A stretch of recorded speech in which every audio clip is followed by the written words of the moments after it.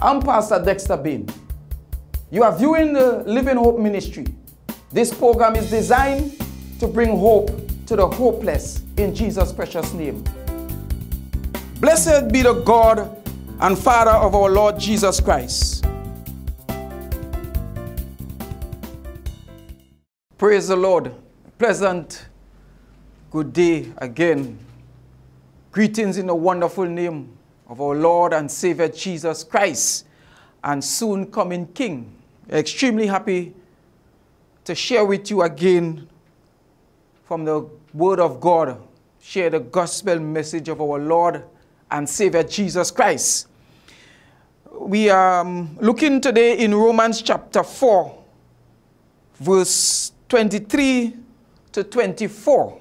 Romans chapter 4, verse 23 to 24 reads, now it was not written for his sake alone that it was imputed to him, but for us also, to whom it shall be imputed. If we believe on him that raised up Jesus our Lord from the dead. Eternal God and Heavenly Father, we thank you, God, for life today. We thank you, God, for the privilege and the opportunity whereby we can stand here in, in this place to declare the gospel message, to declare your word, to speak your truth, God, to the listeners. In the name of Jesus, I commit myself and what I have to say today in your hands, asking God that your Holy Spirit will take it and cause it to take root in the hearts of the hearers and the listeners and cause it to big transformation and, and open up the understanding, oh God. I just commit everything into your hands in Jesus' name. Amen. And amen. God is good, extremely good. The more we look at the Word of God, the more we see the goodness of God being revealed to us. And the more we, we pay close attention to the Word, the more we see where we are lacking. Amen. And it is important for us to stay connected. I want to make that point. It is very important for us to stay connected because once we are not connected to God, we are in trouble. We'll find ourselves in trouble. So staying connected is very, very important. And we stay connected through the word and prayer. Amen. So I want to speak to us today on the topic credited in full. Credited in full. And I, I use the term credited in full because see, for a lot of people, we think for us to come. In fact, recently I was speaking to someone and they were giving me the impression that they have some issues to fix, some things to deal with before they could surrender their all to God. So some people think that they have to fix their problems, fix their situation, deal with their issues before they surrender to God because there are some issues to deal with. I want to tell you, every one of us, once you are born into this world, you have born with issues and you have you were never in a place that you please God in totality and he decide, okay, I will make you a child of mine. So therefore, we must come to God just as we are because he said, he is the one that will fix our problems. He said, Come just as you are. And I want to tell you that don't try to fix your problem. Don't try to get it all right before you turn to the Lord. You see, righteousness is not something to be earned, but it's something we receive a gift of grace credited to us by God in response to our faith. Hallelujah.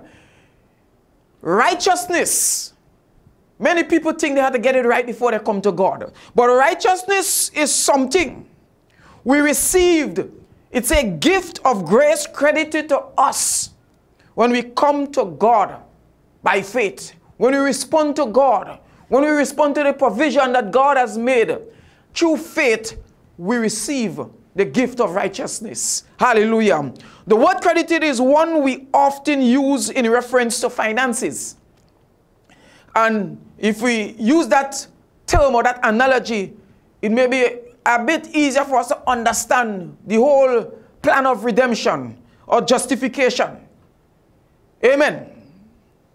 Our bank statements, there are two columns, one for credit and one for debit. If you are familiar with the bank, with banking, there are two columns, one for credit, one for debit, debit in our statement. Right? Hallelujah. The debit column is money we pay out. And the credit column is for money paid in. Now think about your life. Think about what Christ has done for us. Think about the person or the people we were before we, we came to know the Lord Jesus Christ. And you will understand the contrast that I'm making here. Because we cannot get it right without Christ. Hallelujah. I always have to plug that in because many people, if you talk to people on a daily basis, you will observe that a lot of people not coming to the Lord because they, they have some things to fix. They have some things to get right. But I want to tell you that God is the one that will fix it. Come just as you are to the Lord. He is the one that will fix it.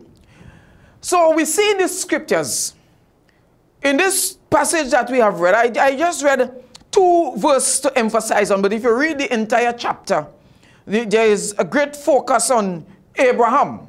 Right? Abraham is standing before God. And to him, it is all debit. Hallelujah.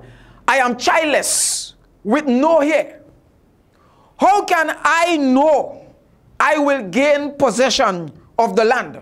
This is what Abraham is asking himself. How can I know I can gain possession of the land? There is nothing physical for, he, for him to see. When he check his condition, his position, his age, he think it is impossible for him to really gain possession of the land that God has showed him. He said, I am out of resources. And many of us at times we think, hey, I am not in a position to serve God.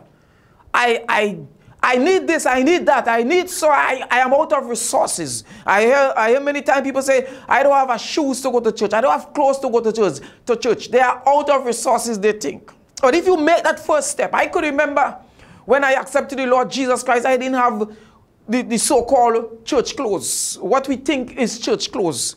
I had uh, jeans and, and roughneck clothes, that, as, as we say. But the so-called soft shirt and, and soft pants and, and shine shoes, I did not have anything like that. That Those things we call church clothes. I didn't have those things. But, however, I decided I will go to church. And I went to church with what I had.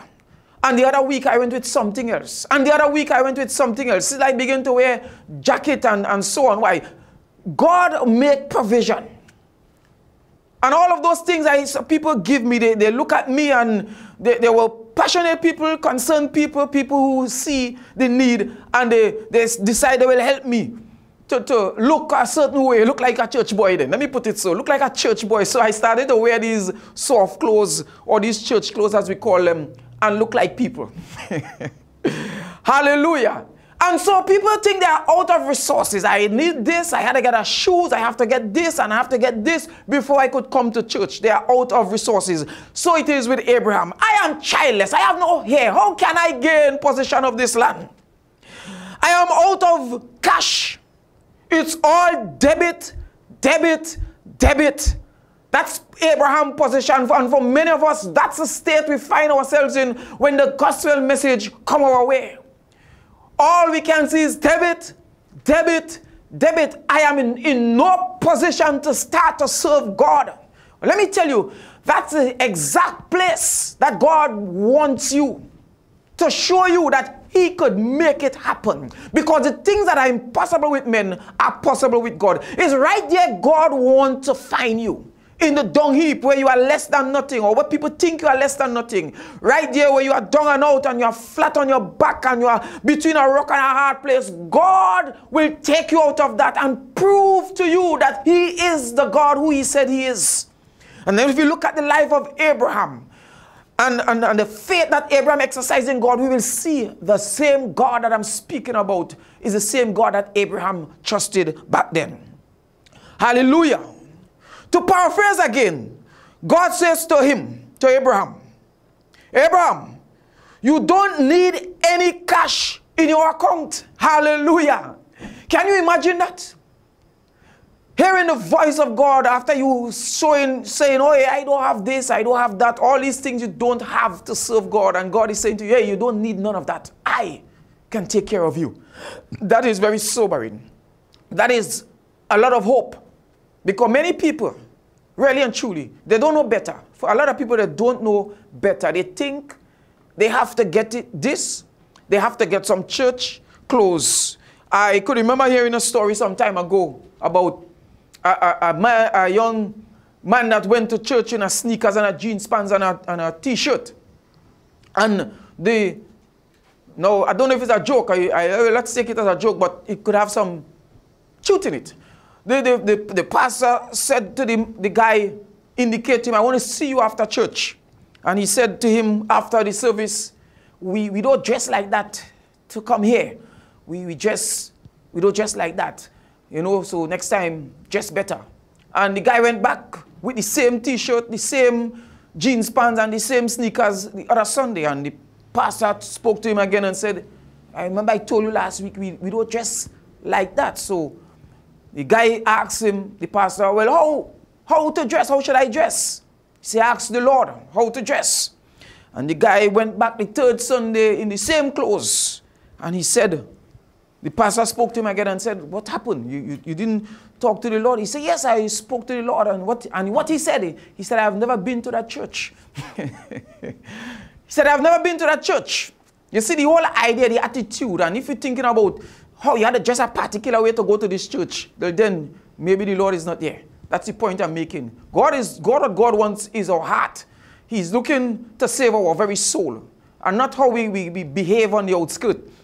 You know, and, and this, sometimes this is what deter people from coming to, to the Lord. Sometimes the people who, who already know God and, and moving on with Him behave a particular way that they turn away those who are on the outskirts looking to come in because they are not in the, in the, the so-called um, class that they, they, they portray. And these people think, I, I will not be able to fit in. I can't blend in with these people because the way they operate and conduct themselves, I, I can't meet up, I cannot match up. So they turn away.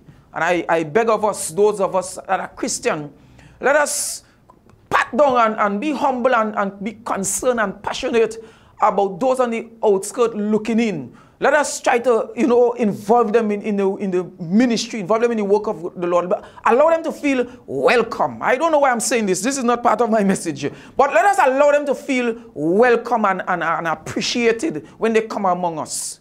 Right? That is very important for, for the building of the body of Christ and for the souls of men to be saved because there's a whole lot of things being said about church today. And if we present Christ, by the very way we live, the things that we are hearing should not be said. Amen. So Abraham, Abraham was a man of faith. He trusted what God had told him. So he said, and you don't have, Jesus, God said to him, and you don't have to pay anything out. You don't have to pay anything because he was concerned about how he going to earn this land. I am going to credit you with this. God said to him, I am going to credit you with this. I am going to pay this. Because Abraham believed God. He discovered his account was already credited with everything God had promised him. What he discovered? He discovered that his account was credited with everything that God had promised him when he believed God. And that is what we are called to do. Put our belief in the word of God. Let me say this at this junction that our very life, everything we do, we use words and we act upon words. We communicate with words. We move and we eat we, we, everything we do, we use words. And the scripture is the word of God that he used, that is written to communicate with us. Somehow, we fail to apply the word of God to our very life. We fail to apply the word of God to our daily life and we fail to see the hand of God in action all the time because we are not putting our trust, we are not believing, we do not believe in totality in the word of God. And that is what God is looking for. That is what Abraham did. Abraham believed God and he was credited, hallelujah, for it. He was justified for it. He was declared righteous because he put faith in God. This was God's business, and God would be the means by which his promise to Abraham would be fulfilled. Because the business of salvation in the hearts of men is God business. He sent his only begotten son to die for the world. Hallelujah. This is God business and God is able to take care of his business. Many people make the big mistake of believing that if they can build build up their credit column to where they have worked hard enough, being good enough, and disciplined enough, and obedient enough, they can please God. Hallelujah. They believe they will tip the scale in their favor, and God will take notice. That is the reason why some people are not coming. They think they are too low down. They think they are not qualified to be among the people of God. But they want to put some things in place. They want to behave a particular way first. They want to build up their credit column that they can tip the scale and the favor of God will be upon them. But let me tell you, you need to repent first. You need to surrender to God first. Hallelujah. That is not the teaching of the scriptures. That belief, that system, that, that belief is not the teaching of the scriptures. The scripture teaches. All ye that labor and heavy laden, come unto me and I will give you rest. He said, Take my yoke upon you and learn of me, for my burden is light, and my yoke is light and my burden is easy. God is able to fix all the problem you are fighting with. God concerned about your well-being. He concerned about every aspect, every area of our lives. And He's well able and He's also available. All we have to do is believe and put our trust in Him. Hallelujah. God is able. We can never push the scale in our favor. So don't try. Don't try. If, if, we, if we try to push the scale, the scale of trying to be good, trying to allow God to have favor with us, we cannot do that. That is not the way to go. That is not the teaching of the scripture. Trying to make, impress God. We cannot impress God. We have to surrender in humbly obedience. The spirit, hallelujah, of obedience and humility and self denial that led Christ to the cross is what we must be gauging. Hallelujah. That same spirit that dwell in Christ. The, the scripture Philippians 2 5 said, Let this mind be in you, which was also in Christ. Hallelujah. That is what we must be seeking after. To have the spirit of humility, self denial, and obedience in God. Hallelujah. That is what He's looking for. Not us trying to do a heap of good things and God will have favor with us and we will get on top of things and then, okay, right, I'm in a position to serve God now. No, God is calling you just as you are. The very condition that you are in now, God want to deal with you right there, right there, right smack in the midst of your calamity and your battle and your confusion and your frustration and the mountains that stand in your way and the rock that you can't you can't penetrate god is calling you he wants to deal with you right there and he's able. I'm telling you he's able. Abraham's situation his situation was very difficult. It was unbelievable but abraham believed god and god come true for him. Hallelujah. He's an example. He's a learning and example for us to follow. Amen. You see, justification before God does not come out of our account. Hallelujah.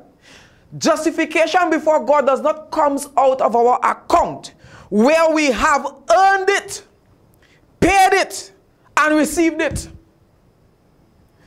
Justification is when God declares us just or declares us righteous. That has only happened when we come to God in, in repentance. Christ, through his death, has paid it for us, paid the price, and make the way, paved the way for us. Hallelujah. Christ through his death. So we don't have to do good or build up our account to be justified before God.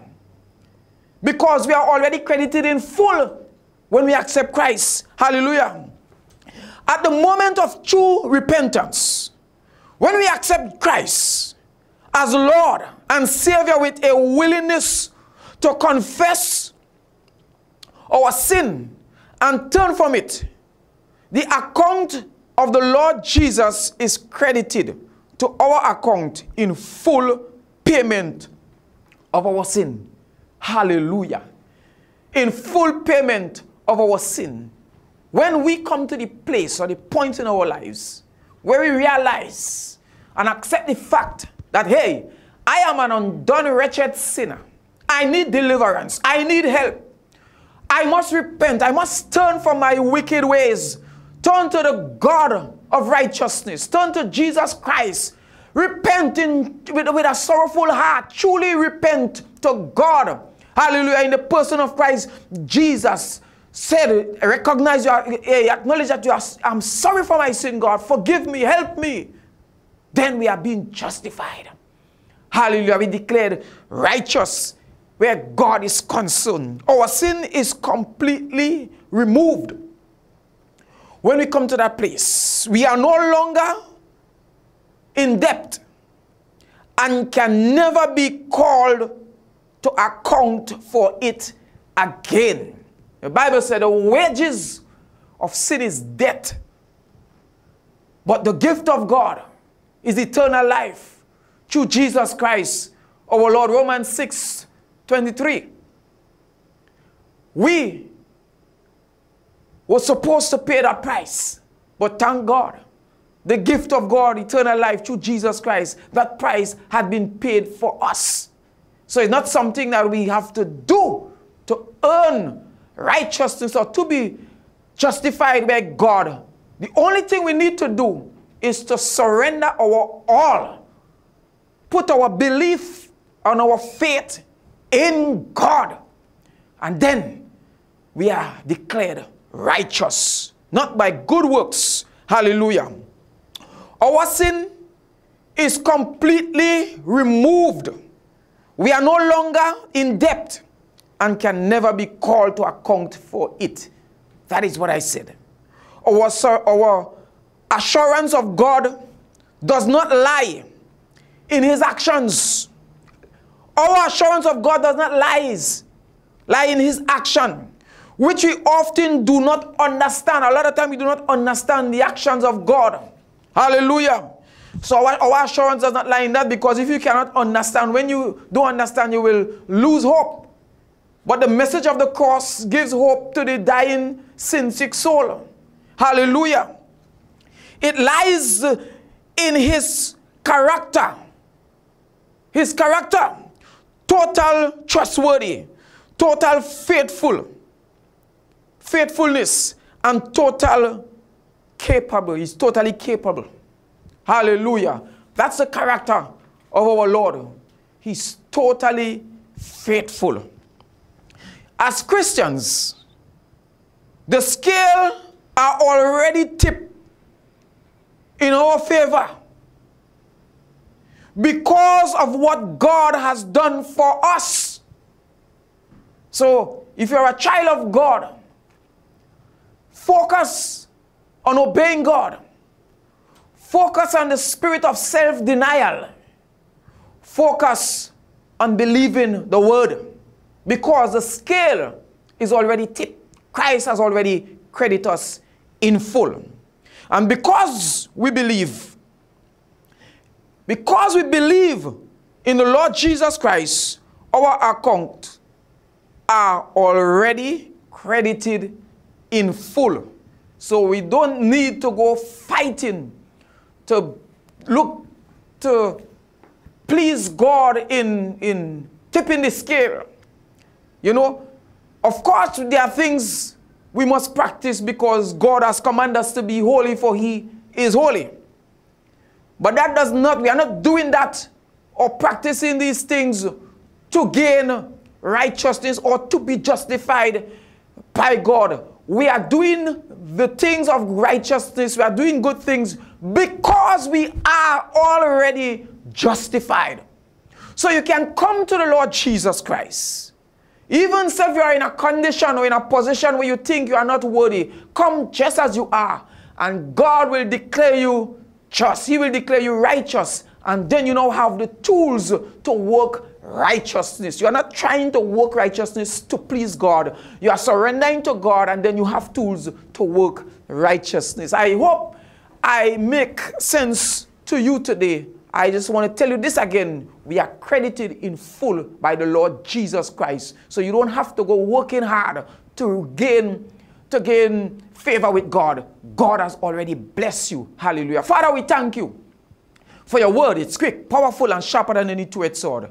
We pray, God, that your word will take root in the hearts of the hearers today. And you just minister by your spirit in Jesus' name. Amen and amen. God bless you. Read your word. Read the entire chapter. Romans chapter 14. Read that chapter. Chapter 4, sorry. Romans chapter 4. Read the chapter. Take your time and read it, and you will see of, of Abraham believed God, and God counted what he, his, his belief, his faith in him as righteousness. Eh? God richly, richly bless you. Take care. I'm Pastor Dexter Bain. You are viewing the Living Hope Ministry. This program is designed to bring hope to the hopeless in Jesus' precious name. Blessed be the God and Father of our Lord Jesus Christ